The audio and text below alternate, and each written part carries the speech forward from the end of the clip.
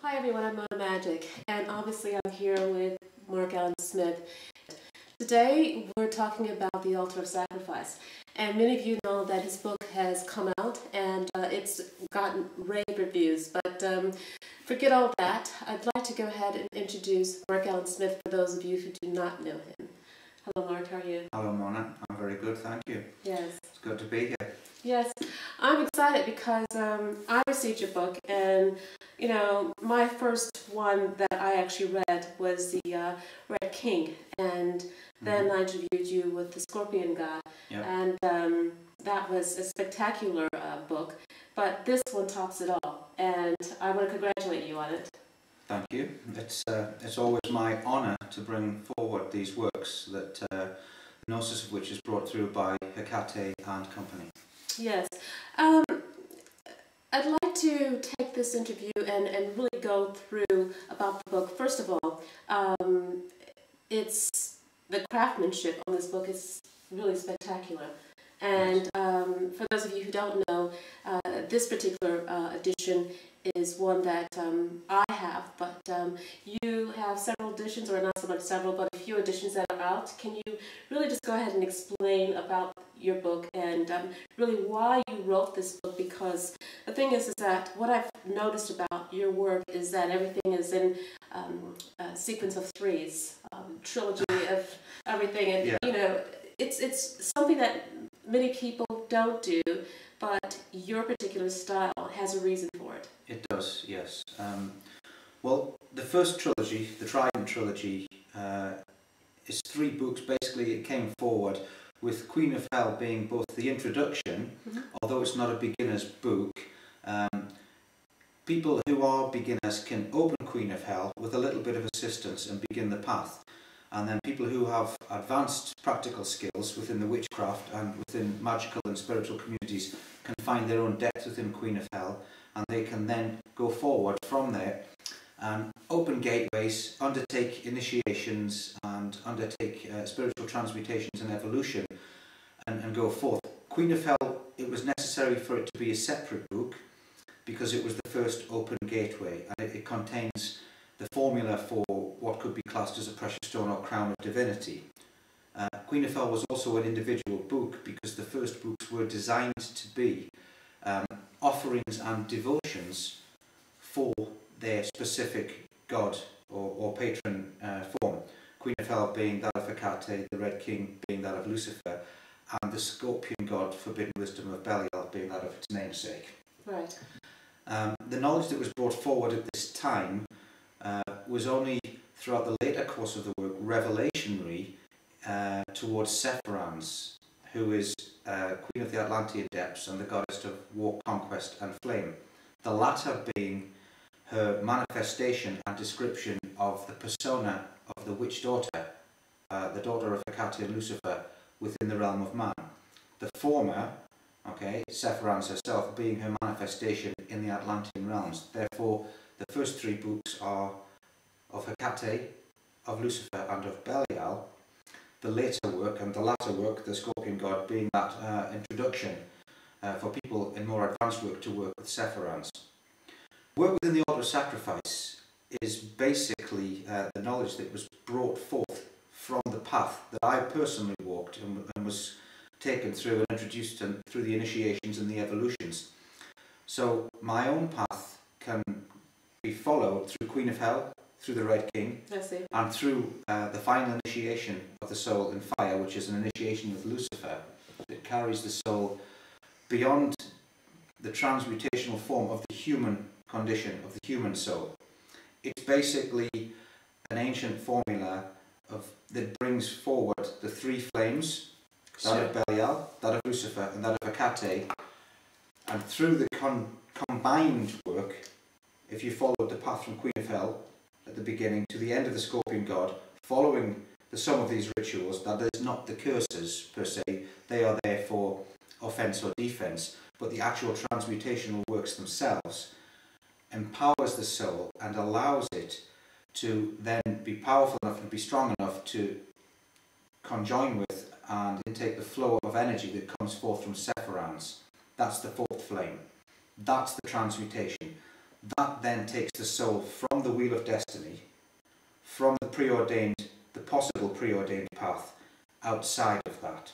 Okay. Okay, it's a spiritual evolution. Okay, it's what's classed as the fourth flame of Shir. Okay, that every soul, every human soul, carries three flames. The capability to ignite those three flames, but only through certain work can you carry the fourth flame. I see. Along the way, through all of these transmutations and all of this ritual work and these communions and the sexual magic that goes with it, the gods, the spirits, their peers bring forth a tremendous amount of knowledge. Knowledge which is relevant, some of it's tangential, but some of it is also very, very relevant for future work. So the work that you have there on your lap, the Altar of Sacrifice, is the first book that, uh, of the Temple of Four Pillars of Fire. It's the first book, it is the initiation of the greater path. It is the first gateway in the return of the way of sacrifice. This is knowledge that was brought forth through my own path, through the teachings given to me within the transmutational rituals, within the rites of fire, within the sexual magic, and within certain rites of sacrifice that were brought forward. This is work that the gods want brought forth now. It is the documentation and the formula for the opening of the Temple of Four Pillars of Fire. Temple of Four Pillars of Fire is the mother temple of the primal craft, which is a vortex that has been reopened, and it is here in the Spanish mountains, through which the primal Atlantean current is now being returned into the surrounding inner planes and the world of man.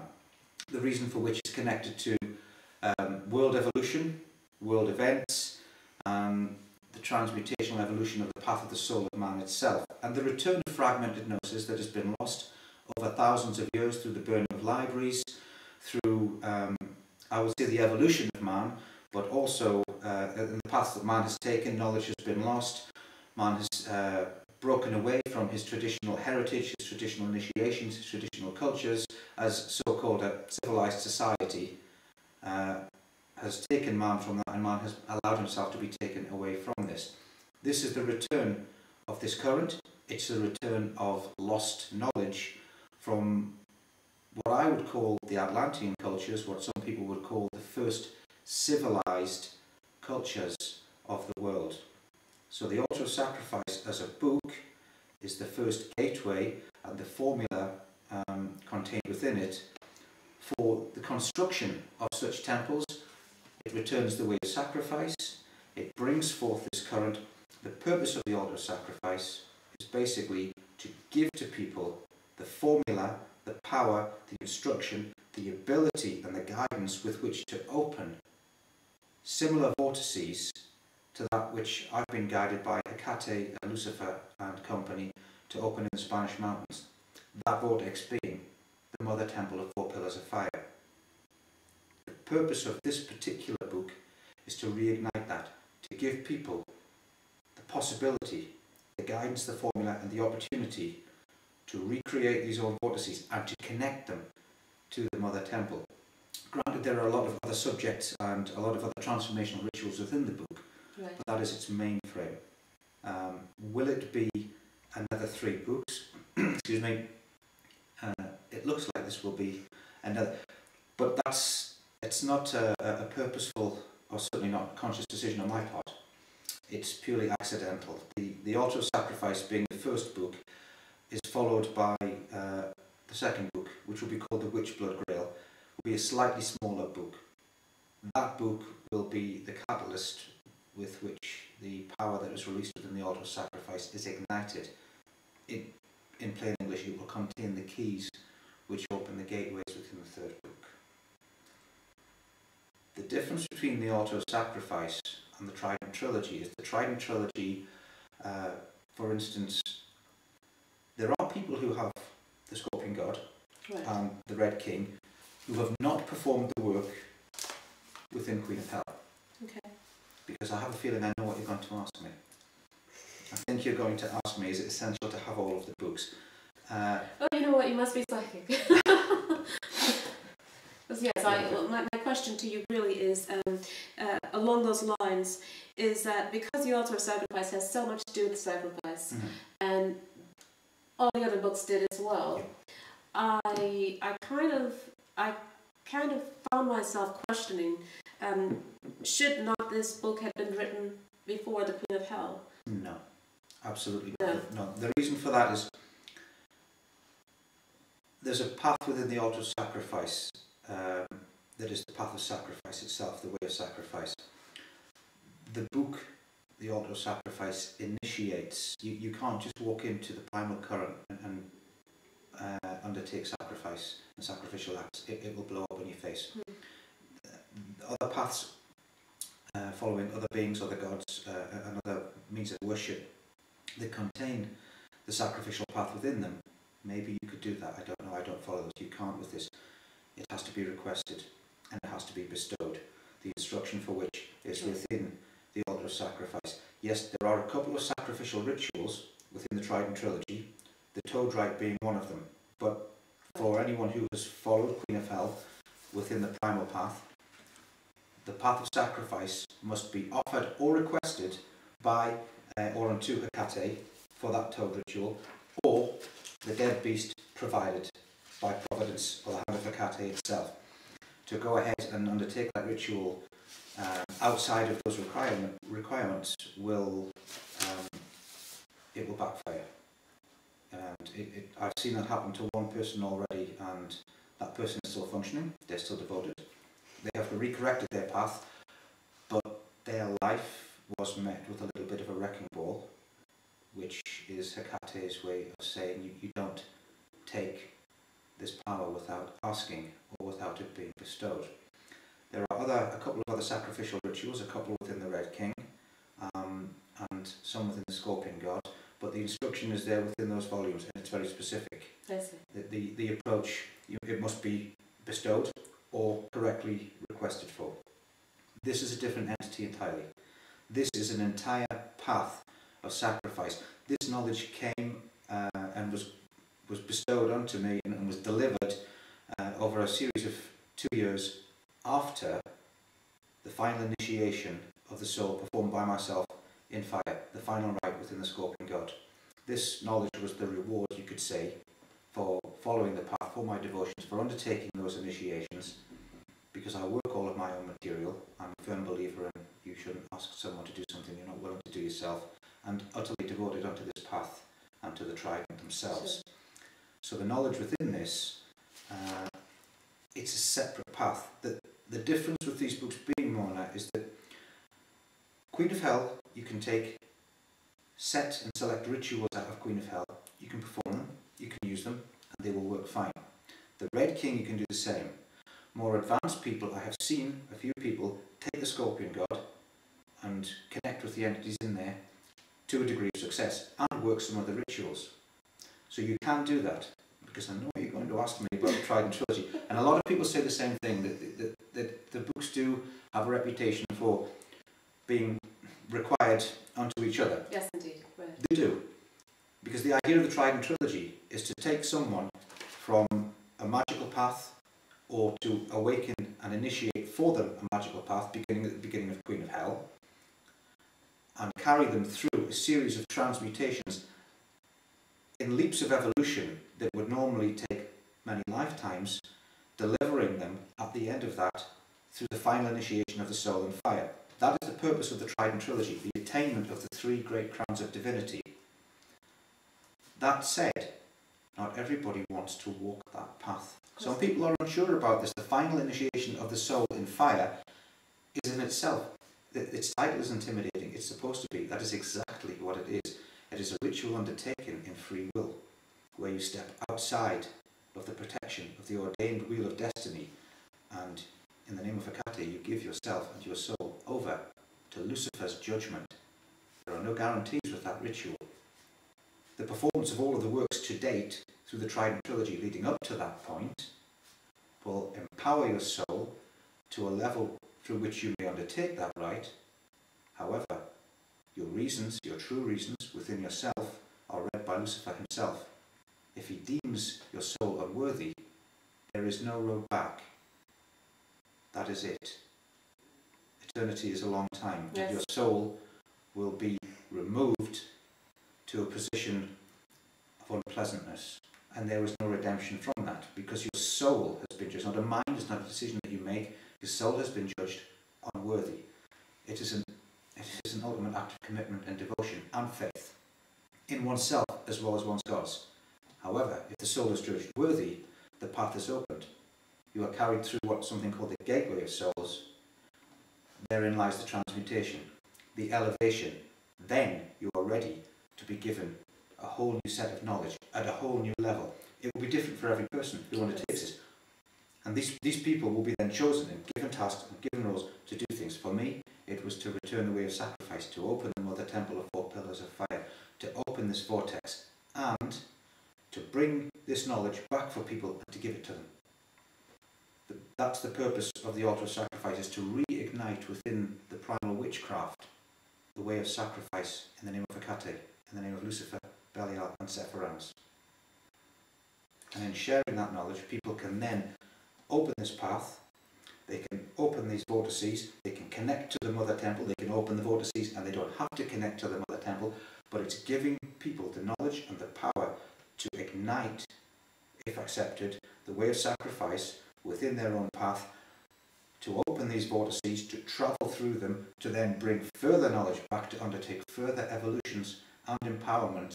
In return, this path is reopened, the knowledge is returned, the souls are evolved, and the gods themselves have this path returned, something within the witchcraft that has not been followed since the very first faiths of civilized man. I would say so. But with that, there's a lot of controversy about um, the way and the, the method behind this book because of all the bloodshed, yes. because of the, sacri the sacrifice. Um, is there a bloodless path?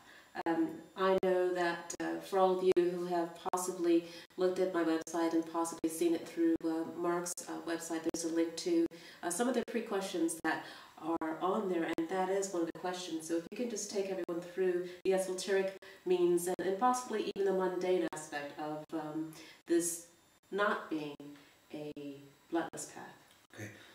Within the primal craft itself, there is a bloodless path. So if any of you are watching um, and have followed this primal work and have followed the gods and have given yourself over in devotion and are thinking, I really don't want to be involved in live bloody sacrifice, then that's understandable. Uh, don't worry, there is a bloodless path. Many people will work through Queen of Hell, through the Red King.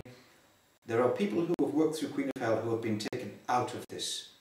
They're working with the gods of the Trident trilogy, they're working with the gods of, of the Trident, they're working the primal path, but the gods themselves have opened a gateway and these people are working off on a tangential path. Uh, one gentleman who has written to me recently, he was working the Red King. I, I don't think this guy's worked Queen of Hell. He's working the Red King, and his initial impression of the Red King was he, he didn't know what to make of it. And the gods and the spirits opened the path up to him. He began working the work within the Red King, and he's now relaying to me uh, small excerpts uh, purely to share it with me. He's receiving stellar gnosis. He's receiving some of the things that would be classed as the lost starry wisdom uh, of the Atlantean priestess. He's receiving stellar gnosis. He's walking through stellar gateways. This guy, it's unlikely he will ever work the rituals of Queen of Hell. He has been introduced to a path through the works of the Red King. He has been taken through a tangential door, and now he's taking, he's bringing back knowledge. It's very, very important, uh, but he'll be doing this for a lot of years. There's so such a volume of knowledge is going to come through. That's the role he's been given. He may never, he may never open the Scorpion God. I see. Some people are required to walk the path all the way through. Some people are required to, to undertake the evolution of the three crowns of divinity. Mm -hmm. They will do that. Some people are, are, are given tangential paths through the work, through the entities and gods that they meet within this work. Some people open these gateways or the gateways are open uh, for them and they, they never go back to the books because they have this direct contact, which is the purpose of the books. The books are open gateways. Within the books, there are gateways. Within that whole scope and all of this path, some of these people, other than perhaps their own blood, will never spill a drop of blood. That is the bloodless path, and it has as much integrity as is stated and quoted within the altar of sacrifice as the blood-soaked path.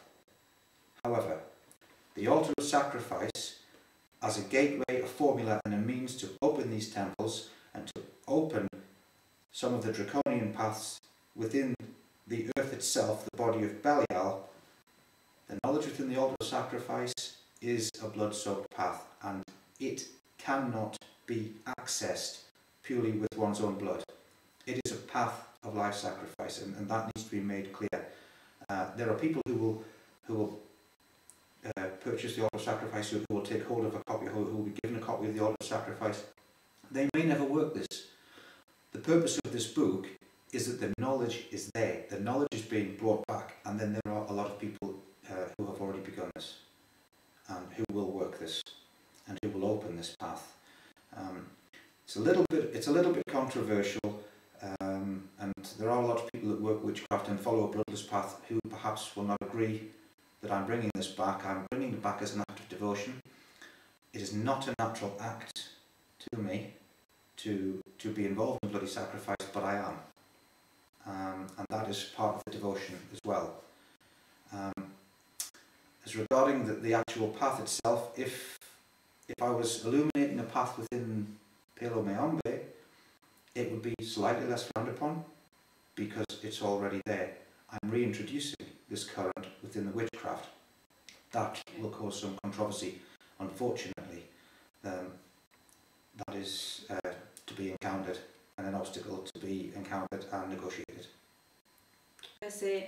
Now, this particular book, um, like I said, it has nothing to do with coming before because you mentioned that there's a there's a sequence in which you actually put these books out.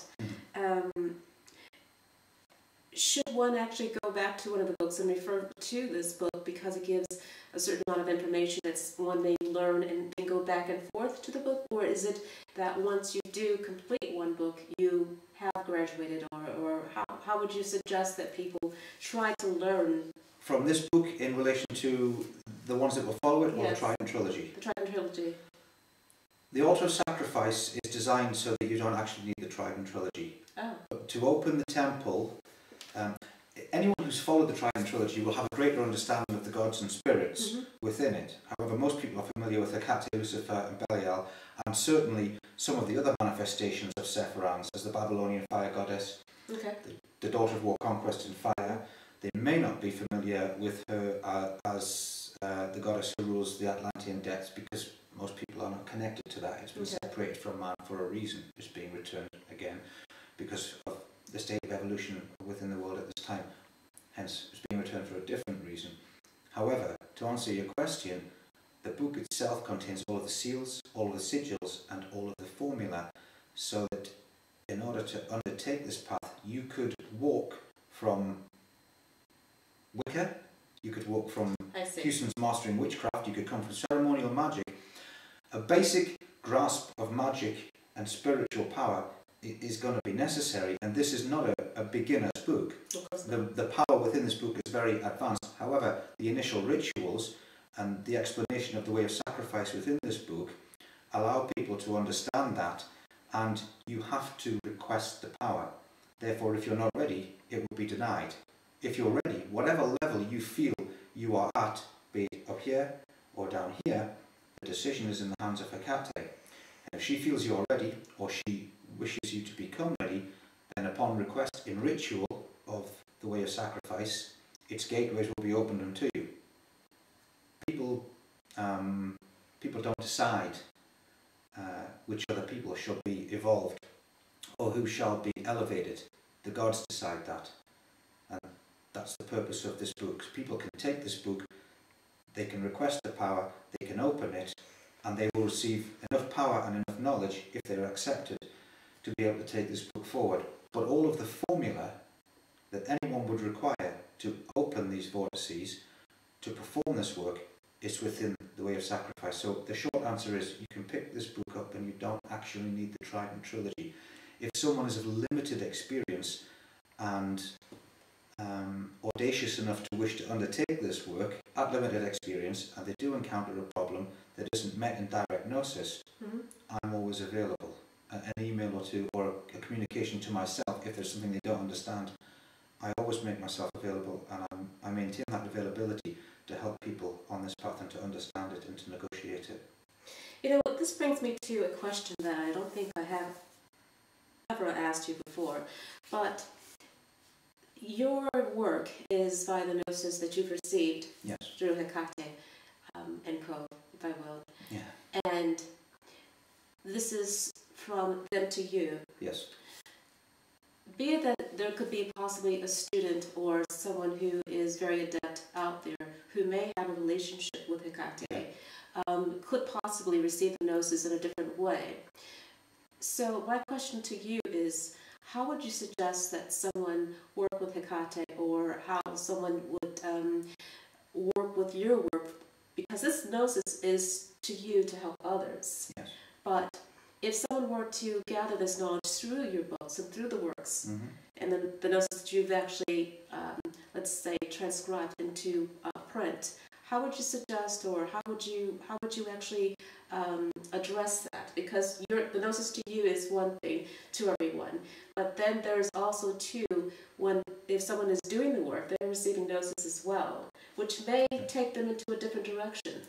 Okay.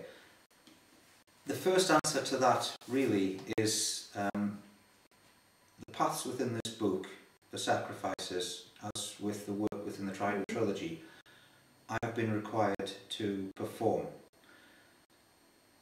The path is laid out so that people can and should follow that. I. As I explained, some people will be taken off a tangential path see, and given separate gnosis. However, the problem that, that has been encountered with some people, especially actually not the less experienced, the more experienced, hmm is that they believe that there are some things that they can adapt. Um, because their higher self is telling them, or their ego is telling him, well, I don't actually need to make the sacrifice, I can spill some of my own blood on the seal, and I don't need to carve this in wood, I can just draw it on paper. That is not the case.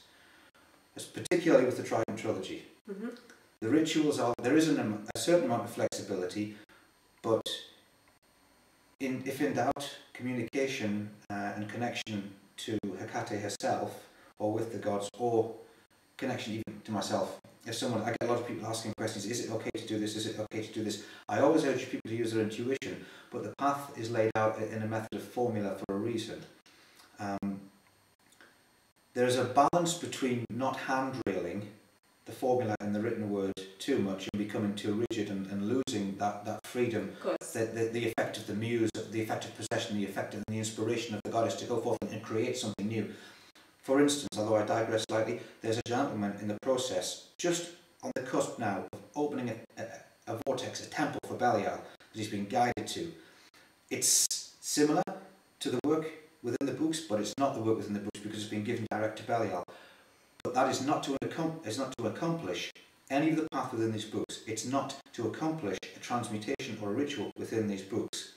It's to open this particular type of vortex for Belial, creating a temple for Belial the way Belial wants it. Therefore, the, this chapter is not adapting something or a formula within the books to attain an aim given or described within the books. He's opened some of the work, he's performed some of the work, and he's been taken, put to one side, and told, You're going to do this, do this. He's, he's been given a tangential path. I see. Okay? Within the books themselves, the methodology of working and opening the temples, opening the gateways, uh, performing the necessary malefica, healing someone from the necessary malefica, Mhm. and all the other many things that are within the books, the formula is laid out in that way. That is not to say that it should be followed, stand here, say this, do that, one step, two step, because that's just idiocy. hmm Anyone working this within themselves will be able to find the balance between, okay, there's the ritual there, there's what I need to do, and then in performing the ritual, not have to go, okay, I, I open the book and it says to say this and, and to do that. That's not required at all. The balance is that once you begin the work, having ascertained an understanding of it, hmm the work will then flow. Of course. yeah. It, the best example is um, perhaps some of the prayers and evocations you will need to stand for certain rituals and read them out. There are other rites and rituals and gateways that may be opened and transcended but you don't need to follow the exact prayer that I've written within the book. Your intuition will carry you, the spirits will guide you, and if you can't remember the exact prayer, then let flow and let go with your heart and your soul and call forth and evoke and open that gateway and it will open. Hmm. Is that, It's ambiguous because Yes. there, is, there is a template and a formula within. Um, let me give the best example. When we, when anyone looks in this book and, and, and they see the Temple of Four Pillars of Fire, it's a central vortex with four outer vortices. Can you change that and make it five outer vortices? No. no. There's a reason that it's set Yes. as a, a, a quadriga as four outer vortices. Okay. Sure. With the central there's a reason that that is that. That is the four pillars of fire. They are the four flames of Shin. They represent the four thrones of the gods that, when opened, uh, as four separate large temples like the Mother Temple and conjoined to, will be the vortices, the manifestation through the inner planes of the thrones of the gods within this realm. Therefore, can you put a fifth one there? Can you take one away? No. You can't bend or mould that template to suit your view of the universe and how this should be done.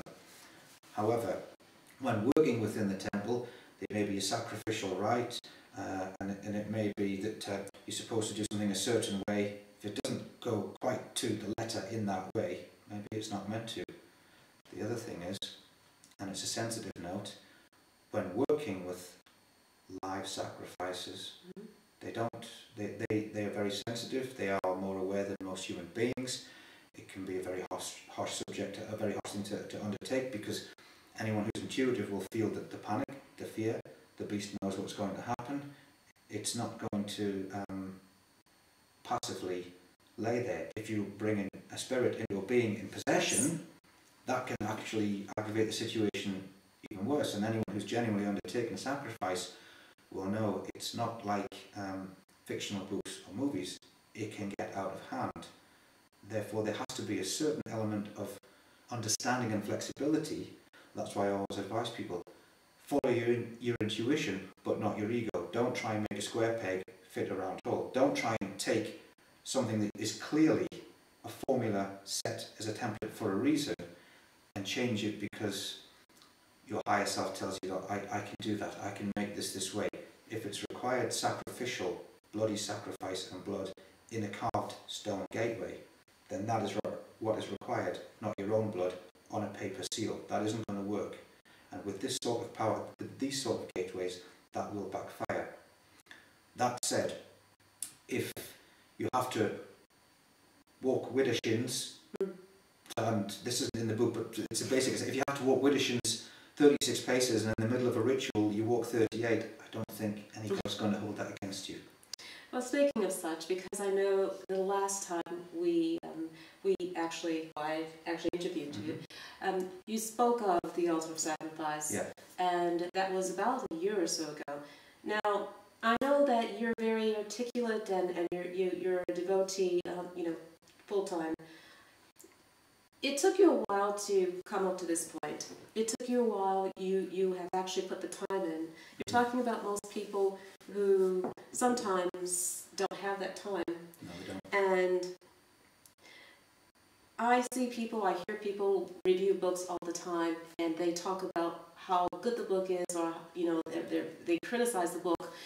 And I have found the best way of reading your books to read them, to understand them, and then to apply, rather than to go about um, and and just read as, as I go along. Because I, I what I'm trying to get at is that how would you recommend someone actually uh, go about the rituals in the book because too often I see people jumping the gun and not really taking in the the knowledge and, and they apply too soon or they suspect that okay a ritual will or let's say a sacrifice will just go that easy. And as you mentioned um, life has its its turns. And uh, I, I really don't I, I would like to give um, your book a little bit more um, let's just say merit than that because I do feel that the knowledge and uh, the demand of what is required is a little bit more than just an easy read. It's application. It's it's putting yourself into the whole motion of um, the sacrifice. So if you could just possibly help me clarify what I just said, because what I'm saying is that it's very complicated to go about and just read as a recipe. and then just apply. You're actually these are soul. Uh, these are these are commitments. These are you're, you're taking a life. You you are offering. You are dedicating, and uh, I, I do feel that people take it a little bit too lightly. Some people do, yeah. The, the books themselves are, are vehicles for um, change, transmutation, and change. Um, it's, it's quite a, a lengthy answer to this. Basically, what you're saying is correct. The books need to be read. You shouldn't just open this book, read two chapters, and then begin a ritual. To begin with, the books themselves are consecrated in possession as gateways. This book, more so even the Trident Trilogy, are all individually consecrated, but this book, it has uh, it, the consecration of the gateways are woven in in a different way. It's designed that people who take the book and merely look upon the outside are opening themselves to the power of the beings within the book, to the gateways within. So, picking the book up, that opens your soul, yourself. Opening the book, that opens your soul and yourself to the book. The idea is that it assists you, but they are consecrated and they are empowered, that that power, that energy, gains access to you. It enters within. I hope I'm not putting anyone off the books, but I'm only being totally honest as to how they are consecrated. And I am but the butler, the gatekeeper. So it's not my power that consecrates these books. I'm the channel through which it comes. It's Hecate's, Lucifer's, Belial's and Sepheranz' power and the power of they who are bound by these gods to work for them. So when you open the book, that's what enters within the being. That's what enters within the soul. When you gaze upon the seal upon the book, the same applies.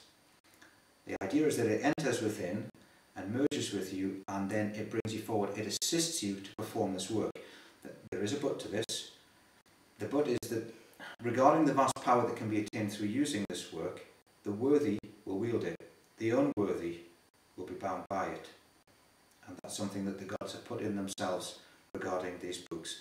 Anyone who's devoted to the path, who is merely interested in the information within the books, would have absolutely nothing to worry about. The gods are aware that not everyone is going to perform this work, but there are some people who are interested in this work who right. are required to be interested in this work. Even if they never pass the information on, one of the requirements of this work is that the knowledge is brought back. Therefore, that is accepted. However, if someone was to take this work um, with a view to merely profiting from it, I don't mean booksellers, I don't mean people like that. I think we all know the type of person I mean. Okay, then it could end badly for them. Again, this is this is not by my hand, but I'm aware of what's gone into these books.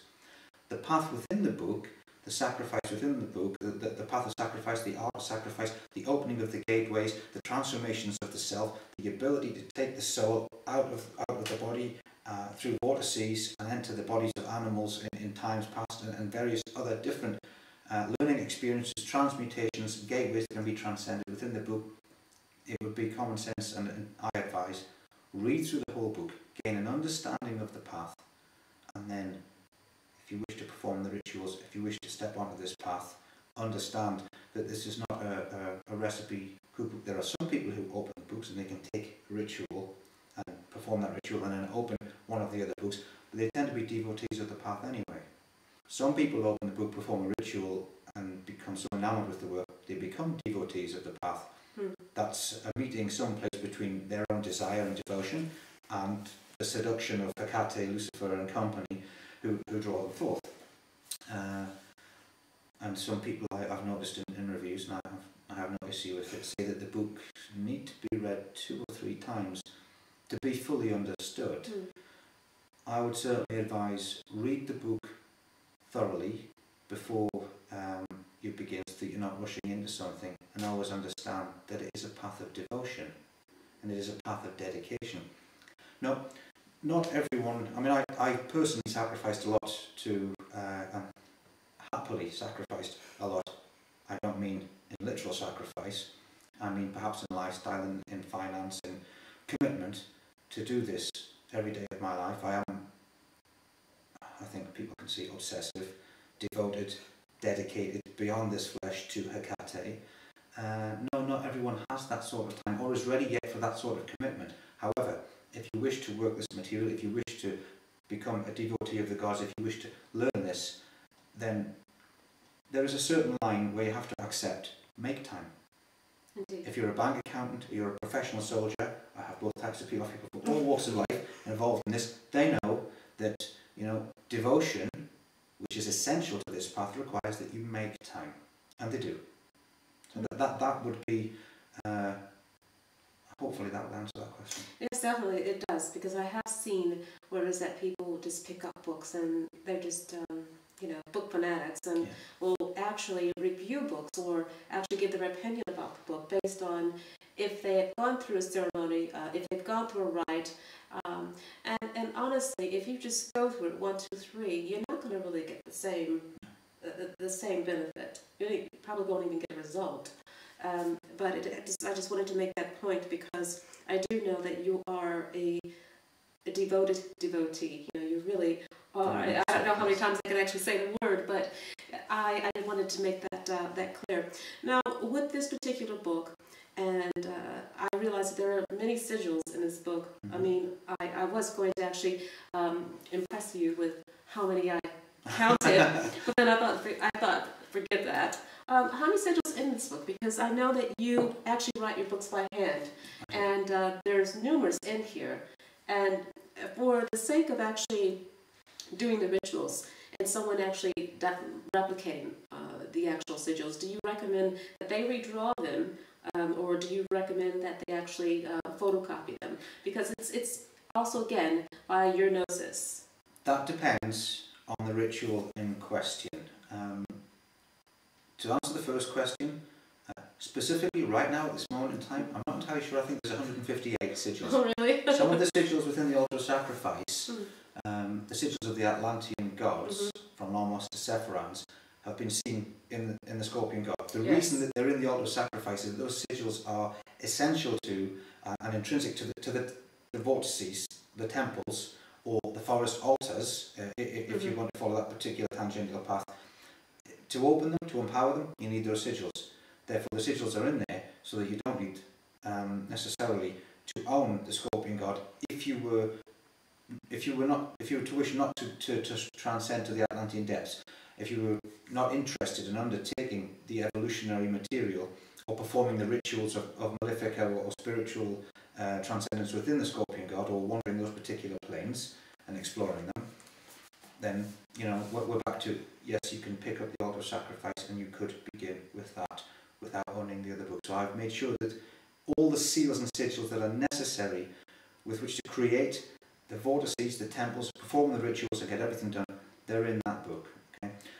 To answer the second part, it depends on the rite. There are some rituals where you can have the seal on paper, spill your own blood or sacrificial blood onto it, and then sometimes it needs to be in blood fire, so the sigil needs to be burned. Um, it doesn't matter. You, if if you are talented, some of those sigils are quite complicated. If you're Right. talented enough to redraw it, some people prefer the redrawing of their own hand. Some people photocopy Yeah. the seal. That's down to the individual. Where the but is, is does it need to be recreated in wood? If it does, if it needs to be like a stele Mhm. and cut into wood with either a blade or, or a dull pen where you can force a line and draw the sigil into the wood to then place blood, blood into it, the former creates the gate upon this plane. You're etching that sigil physically into a substance that is natural Mhm. to this world. The latter, where you spill the blood into it, opens that gateway between the inner planes.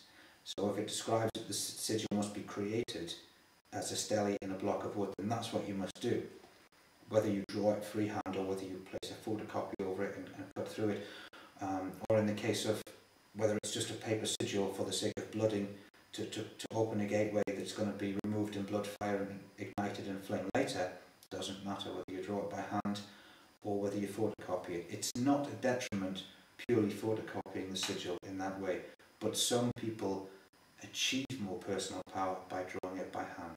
That would depend on the individual Of how they work. But that's that's what I would assume. I personally uh, prefer redrawing as close as possible, but because of the intricate um, sequential ways of following the rituals, I didn't know for sure if Mm. you figured that, or it, it was by gnosis that it was set to copy them or just have them photocopied based on that.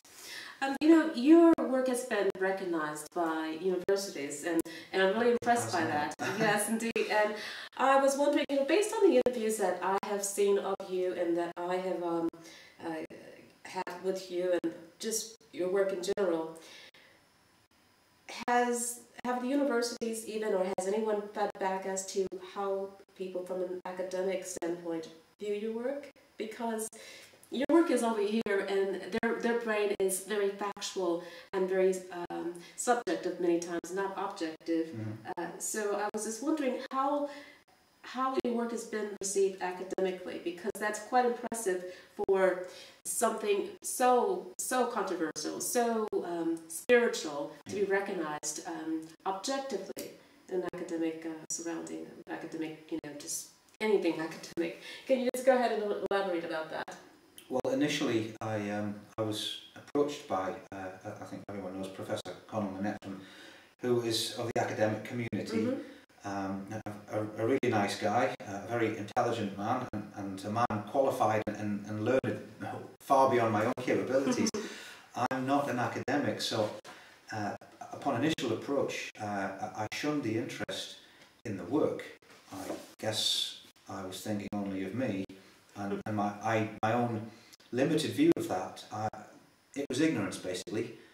I'm not of the academic community, I didn't understand the benefits of the work, not the books, but the actual work being recognised mm -hmm. in that way until Hecate reminded me who works for who. I, I belong to her, I work for her. And with a little nudge, um, I, I, then became, I warmed to the idea. And as you know, over two years, um, Professor Manette and I, we, you know, we, we conversed so he could get a, a, greater picture of this. Mm. One of the things that I personally uh, wondered was why, well, I'm but the ambassador, but why Primal Craft and, and the interest in it. Um, I, I don't think it's a secret now that it was approached because it, it's viewed as an authentic path of Hecate within the, the broad spectrum of, of pagan studies and pagan practices um, and as a genuine vehicle for spiritual transmutation and transcendence. Uh, Professor Manette indicated that one of the things that, that he was initially drawn to, as he, he was obviously looking at various different strands of, of sure. pagan study, as well as the other things that he's looked at, the other paths and pantheons, the, uh, Sufism, etc., was that I don't charge for any service. I, I offer other services. I um, I'm, I don't speak much about it, but I will do anything from healings to the opposite end of the spectrum, although I try not to get drawn into fighting people's battles for them. I will teach people how to heal themselves, how to defend themselves. I also teach people, more importantly, and certainly what I'm more interested in, is how to follow this path, their spiritual evolution, their transmutation, and how they can then convey this gnosis, bring forth this current, and effect change, um, not within within their own personal spheres, mm -hmm. but within the greater and far more important sphere of this world and what's going on in it. Um, all of that and the work that I do and, and, the advice that I give and the assistance that I give, I, I don't charge for. I don't believe in it. I have nothing against uh, people that um, make their way. Uh, you, you know, money is a currency, it's a form of, of trade and barter that, that we need, however falsely created by the, the, the bank cartels of the world. It's something that I myself use. I, I can't purchase a loaf of bread without money. They, they don't take bonds and beads down at the local shop. Okay, so it's a necessary uh, evil in that way, and I'm not against it. I, I like nice things, I understand that. But my own personal belief that is fueled by Hecate herself, let's put it this way. I could probably make an awful lot of money doing readings or healings or even cursings. Uh, it's not as though I'm adverse to any of that, and, and I do uh, partake of these things when necessary, as some people know. But if I was to begin charging money for it, uh, I would receive what could be classed as an infernal or divine shunt, a slap. It's not what she wants me to do. It's not what I personally, uh, I don't need to do. I'm not required to do. I don't feel that it, for me, speaking personally, and I am being personal now as opposed to even to professional, I don't want to do that. I don't agree with doing that. My, it's my honour to, to have this knowledge. It's my honour to walk this path. It's my eternal devotion Mhm. to eternally walk this path in one form or another and follow her to beyond the end of time, such as my devotion to Hecate. Uh, so my, my advice, my knowledge, my, my ability, the assistance I can give to people, I don't I don't charge for. Uh, It's I don't charge for my time or the work. The books, uh, yes, I charge for the books, and then they're not cheap. the book, everyone the books are, are quite expensive to buy. There's as much care and attention and, and love and, and craftsmanship in these books as can be put in at any one time, and they are all individually consecrated. So yes, they're the one thing that must be paid for. Anything else, um, when select people are called forth for initiation here at the Mother Temple, there is there's there's nothing to do with finance. I'm not going to pay their plane fare. They have to arrange that themselves, but the, there is no financial commitment. There is no financial payment receipt, so I have nothing to do with that in that way. And it was one of the things that Professor Monet remarked upon that he noticed that uh, while not casting any shadow or aspersion on anyone else that does Mhm. make their way in course, life, people have to eat through charging. He said, uh, you know, I noticed that you, you don't do that. And I said, well, no, that's not. It's not what is required of me. It's not what I want to do. It's not what Hecate wants me to do. And I think it was one of the first um, flags, shall we say, that, that popped up that, that drew his attention. After that, when he began to uh, pay a bit more attention to primal craft, and it's something that has been um, remarked upon in, in, in other circles as well. As regards the feedback from the academic community per se, it's been positive, but we're kind of at the dawn of it, we're kind of at the threshold of it. Professor Manette included primal craft, it's been illuminated to these universities through uh, uh, basically what's it, a study text. Um, so as regarding more feedback, it, it remains to be seen what, what, what else comes forward now. Well, when you're talking about the primal craft and you're talking about the primal craft, Mhm. I would like to clarify that because I don't believe that I clarified that or I, I did ask you about that during the first interview.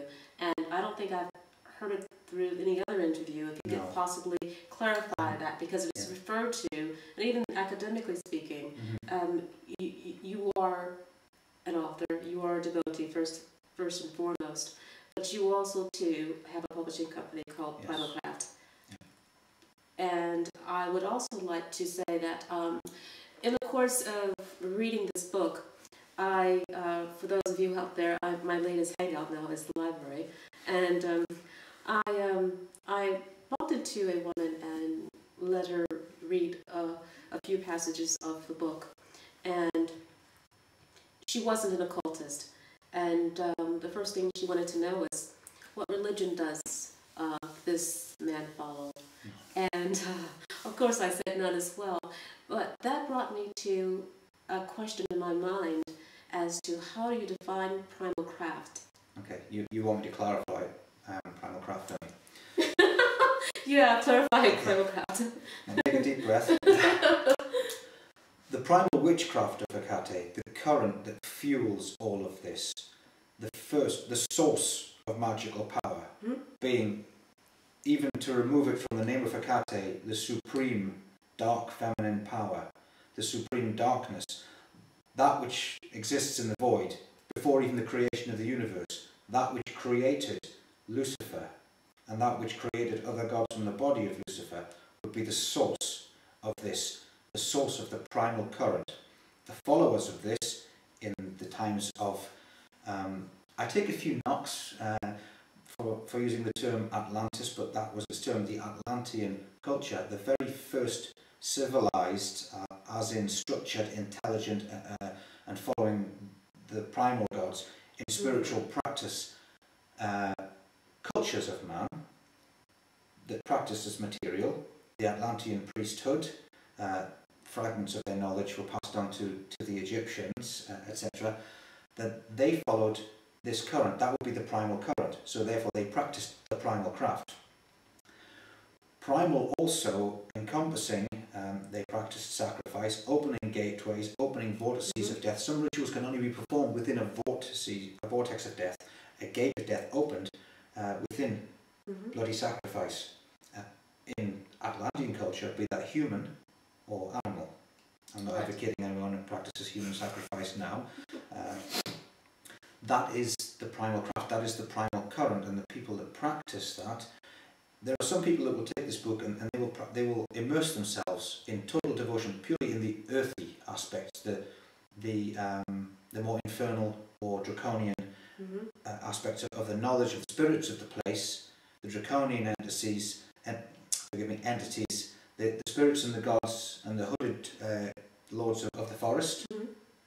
and they will immerse themselves. And that is part of the primal craft because they're working that current. There are other people that will open pathways to the stellar realms.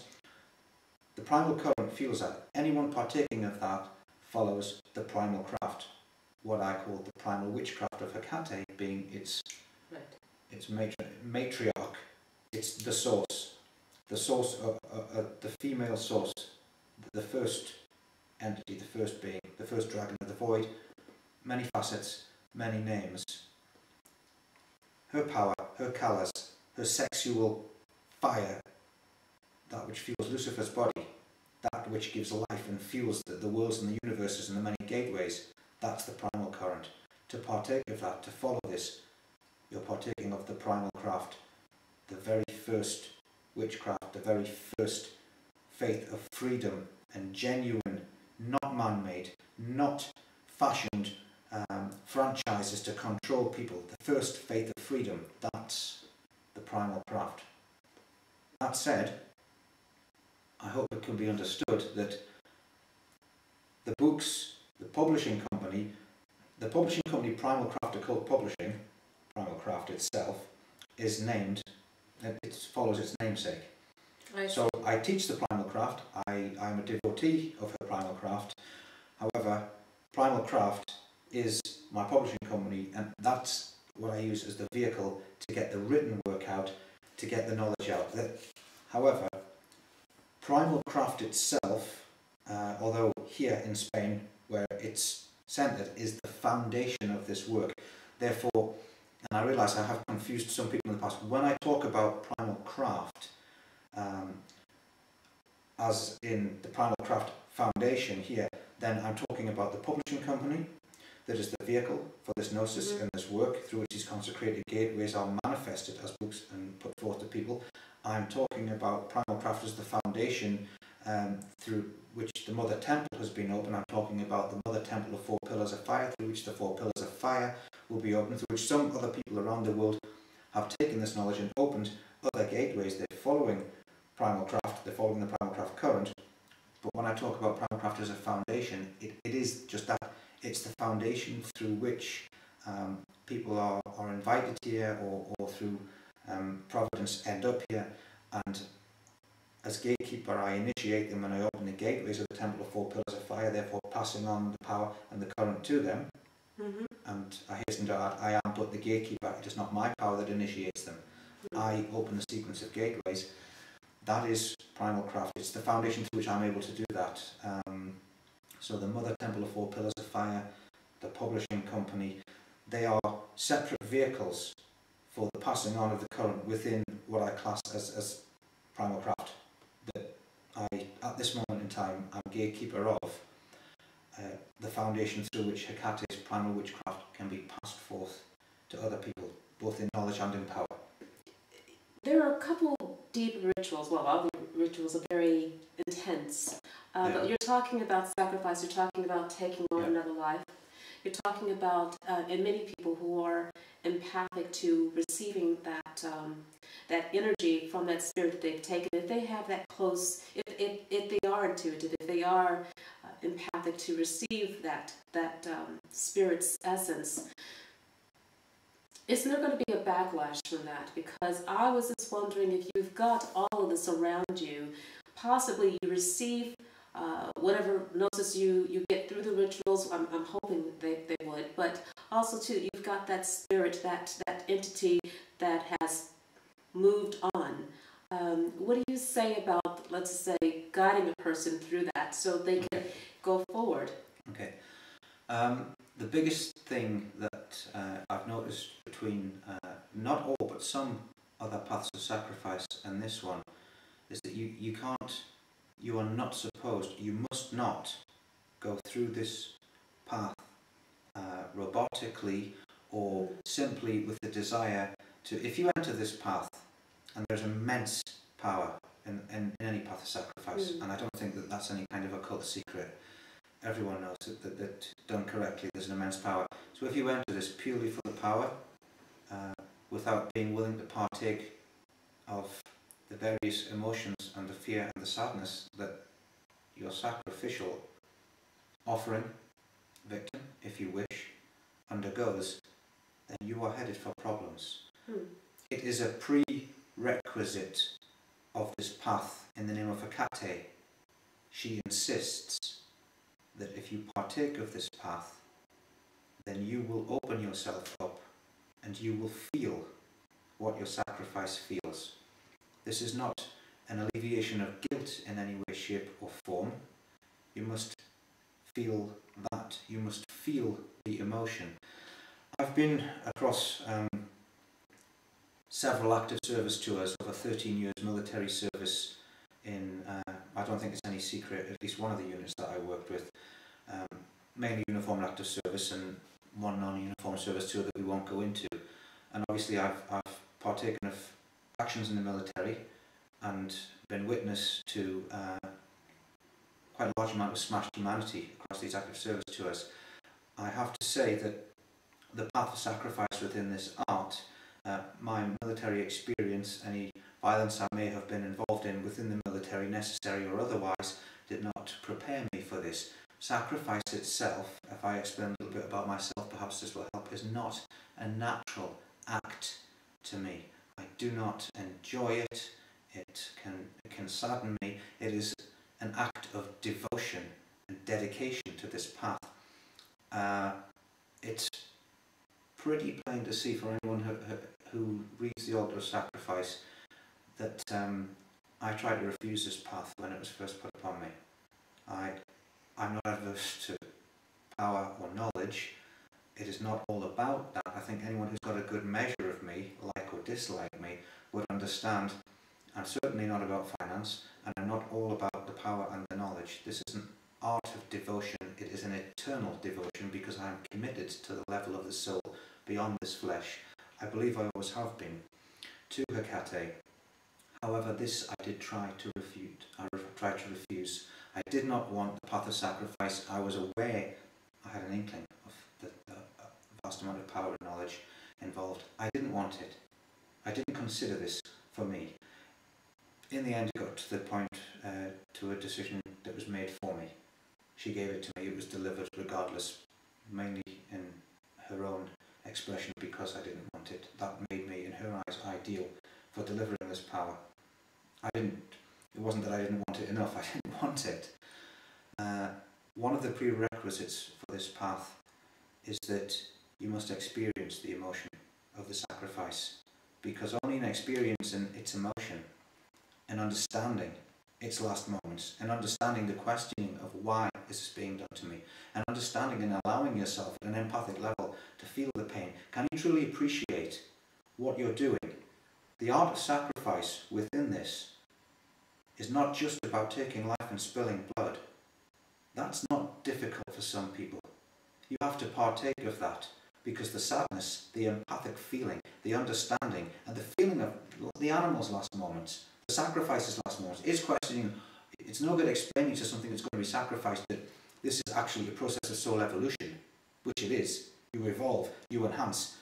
When you're taking it from its incarnation it doesn't work like that. It wouldn't work for a human being it doesn't work for an animal and they're far more aware than most human beings.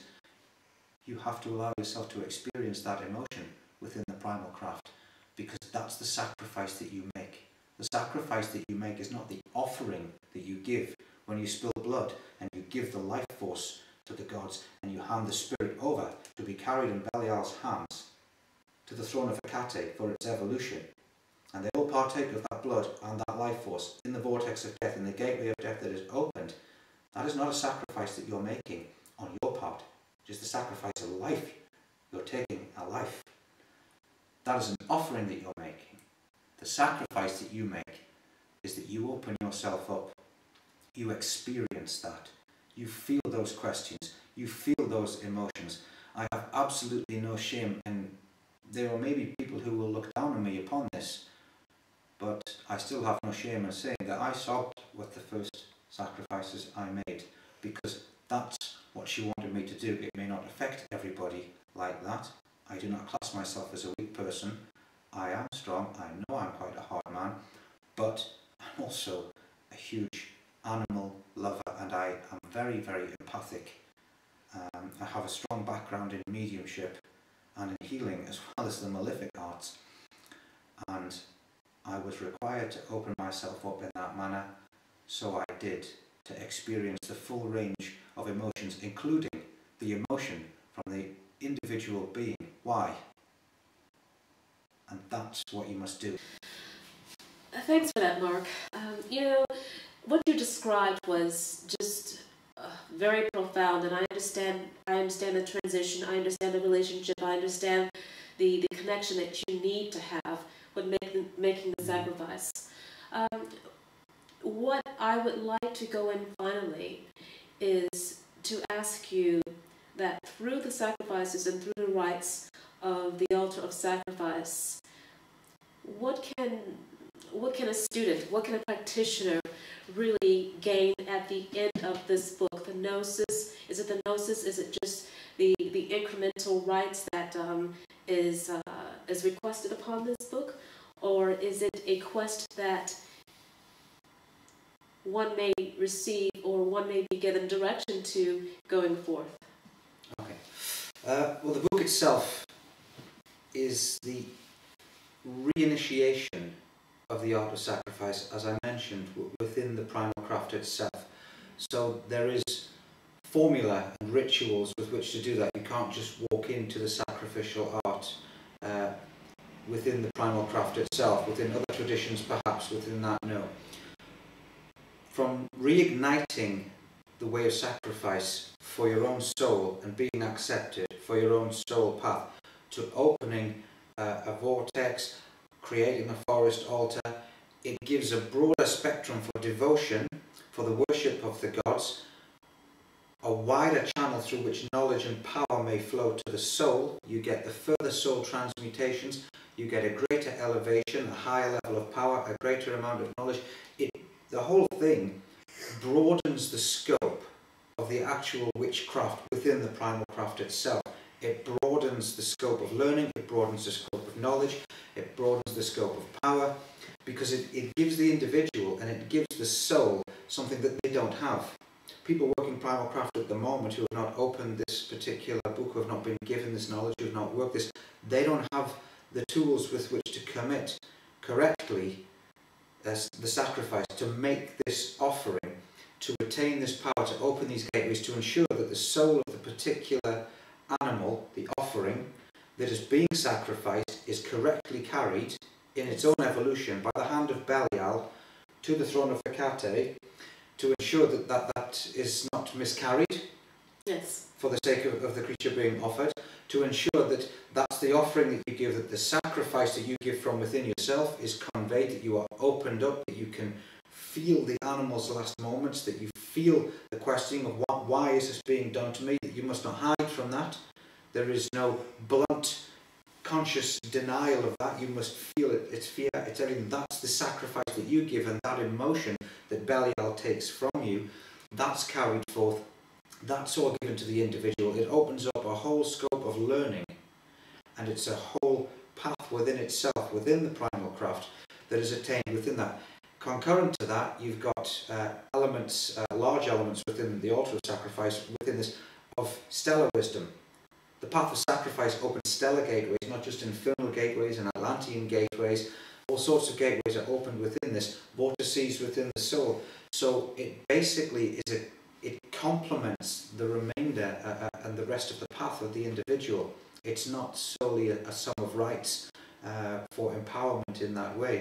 It's a greater understanding of the primal craft, of the witch flame art, of the gods, of the gateways, the means with which to open them, and also what lies beyond them. Hmm. Uh, I think that uh, you know this is not not definitely an easy read, and um, I can concur to that because I actually, you know, have uh, read three of your books, and um, each time it's been it's it's been more of a um, a read and then application and then a read again, uh, but more so digesting, more you know digesting internally. Uh, and with the sacrifice, I would have to say that it, that's a whole different realm in itself, a whole different ballgame. Um, with the altar of sacrifice, and I, I have asked you previously um, why you brought this book out, opposed to not bringing it out at the very beginning, since all your books do require an element of sacrifice. They do, but there's a, a synchronicity to the work. For instance, um, it was essential, uh, it was an instruction that the Trident trilogy be brought out first. For many reasons, I don't know uh, if this is the correct reason, because this is something that I'm merely speculating on now, but can you imagine me initiating the, the sacrificial trilogies before uh, laying the foundations with the Trident trilogy? Okay, shock value would have been fantastic, but that's not what I'm aiming yes. for. Okay. okay, so the foundation of the work had to be laid with the Trident trilogy.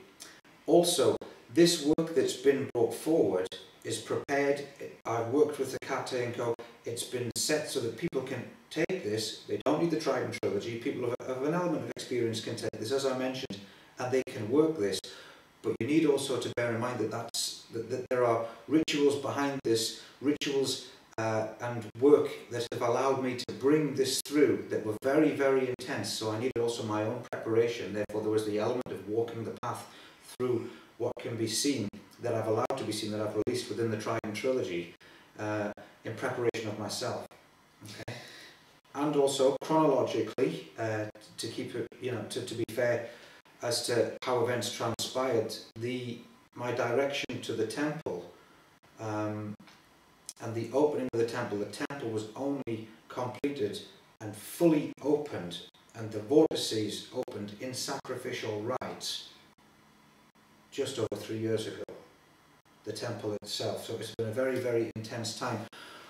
But I know that Hecate wanted the Trident trilogy, she wanted Lucifer's book, and then the Scorpion God brought out first, and it was actually put to me. I have, as I've mentioned, a lot of work to bring forward. So the instruction was very blunt. You bring these three books out first, you bring this knowledge out first. After that, there was an element of choice. So there are mm. other volumes that I could have brought out instead. However, and to be honest, that was left pretty much to, to me to decide. I still get tested all the time, as probably you say by Hecate. So I think she wanted to see what I would do. But there are other very, very um, formula, volumes, and works to be brought forward. I personally felt that the way this work is going, it was necessary to bring forth, or at least to lay as much as I could of the foundation of the sacrificial art within this path out. Okay? And the, the Witchblood Grail will follow shortly after this book, but then we have the third book, which is going to take some time to bring out. It's going to be a large book full of uh, very powerful uh, works, rituals, uh, again, a lot of travelling, a lot of knowledge, a lot of merging, um, a lot of a lot of witchcraft with Belial uh, and, and elements in that way, uh, overseen by Hecate. And then there is more work to bring out after that. But I, I needed to get the foundation, I felt I needed to get the foundation of, of the way of sacrifice opened because people were being prompted by the gods and spirits um, mm. as regarding the, path of sacrifice. People were writing to me. Um, and I also felt that while I was giving them individual guidance, that was one of the things that, that prompted me to bring this out first. Was I thought if I, I've got several different pathways of knowledge within the primal craft that are each as important as the other, uh, and all very intense. But the work of the temple, um, the structure, someone else can now take this and, and they can restructure, um, as I've mentioned, not only a temple, but the method with which to, to conduct this, this form of witchcraft within the primal craft. Okay. Uh, they can then structure their own groups, they can structure their own work, they can then apply and, petition to the gods for the process of initiation and with which to initiate correctly. Mm.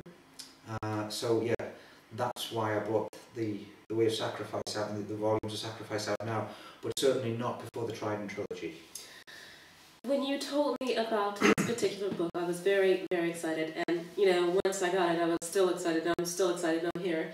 Um, the, trilogy for this particular one, can you just give us a preview on what's coming out? After the Altar of Sacrifice. Yes. And it is going to be a trilogy, is that correct? It looks that way, yes. Um, the, the second book will be uh, slightly smaller than the Altar of Sacrifice.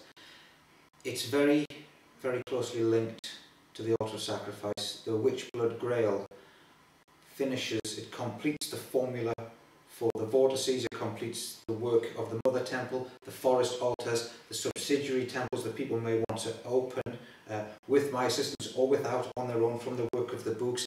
It completes the knowledge of the apocalyptic keys, the eighth crown of Sephiroth. It contains uh, elements of uh, human sacrifice, which are part of the heritage of the primal craft. As we know, it's no great secret that human sacrifice was practiced in some of the first cultures. It is a part of the primal craft.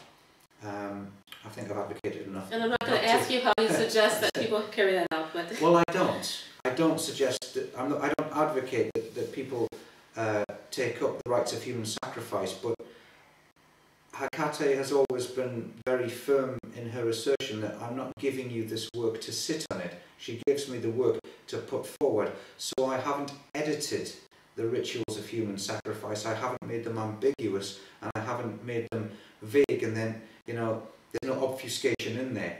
If you, were, if you did wish to perform them, the sum and total of the rituals are within there. It's just not something that I advise in modern society. Also, people understand we're not talking with human sacrifice very often. People get the wrong idea. While I don't suppose that would make much difference sat in front of a crown jury if you were caught for performing it.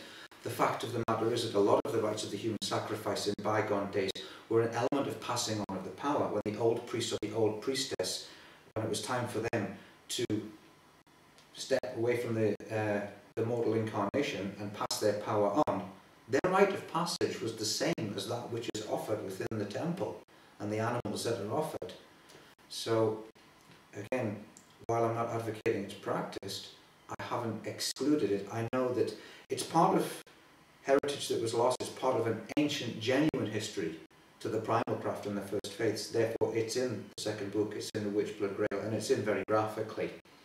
Uh, it, it, has a, a, chapter, there are the sum of the malefic art of, of the temples and the vortices and the knowledge that's come through these gateways and from the throne of Belial, and the final formula for the opening of the crystal gates of Belial that allows the soul to descend to the throne at the heart of this world of the Crown Prince himself. That is within the Witchblood Grail, amongst other things. Again, the Witchblood Grail contains um, the keys of the other two volumes. Each of the three volumes of Sacrifice is a standalone book. Uh, however, the two closest linked, uh, it would be unfair to say the Altar of Sacrifice and the Witchblood Grail are standalone books. I correct myself. That, that those two are, are intrinsically linked because the Witch Blood Grail completes the formula. Uh, the third book could be taken as a standalone book from the first two because it contains rites, rituals, and knowledge that you may not necessarily need to enter a Temple of Four Pillars of Fire to perform. It's very much a gift, certainly a gift to me. As the knowledge of the way of sacrifice and, and a lot of other uh, very rich and potent work that hasn't been released yet was a reward for performing successfully the transmutations of the final initiation of the soul. The work within the third book and the final volume of this particular sacrificial trilogy was very much a lot of power and a lot of knowledge uh, that you know a lot of things that were considered perhaps only to be uh, legend in the past. It's the reward for having ignited the temple for the work that's been put in because I get to partake of this. I get to perform these rites. I'm not just writing them and putting them out there. I get this knowledge. I get this power. So the third book is very much a reward uh, for having undergone the transmutations and the successful completion of those rituals and of the, the reformation of the Temple of Four Pillars of Fire. It's incredibly rich, it's incredibly powerful, and a lot of it is quite standalone work in the third book. But Are it's, you being evasive and not telling me the name of the, the book, the third book? well, the name of the third book's not really relevant at this moment in time, and I don't, I don't want to go down that path. There are too many silly people out there that try and repackage things um, because they get a snippet of information. People that are a prime example of a little bit of knowledge is a dangerous thing. Yes. I've given the name of the second book, which is, is more than I normally give away, and it's, it's although uh, to be fair, the second book's on the website, but I only want to go so far because it, it's a progression. Uh, the release of knowledge is a progression. If people wish to go beyond that, then they need to perform the rituals within the books. Fair enough. Okay. Well, it's been great having you uh, again, and it's you know it's it's always a pleasure to really work with you, Mark. Um, I I would love to have you back again, uh, but with that, um, if anyone needs to contact Mark, you can contact him at primalcraft.com. And uh, you answer everything, and you, you're more than happy to answer questions. I do. I'm there all the time. I um, I answer immediately, certainly within 24 hours, uh, if I can. And if someone needs assistance or they need help with something, I will help them. If, however, they also need um, to be informed that they need to use their intuition more, or they get to a stage where so much information has been given after that, more only comes from the performance of the right, then they get guided quite strongly in that area as well. Yes. I, I teach as, as best as I can.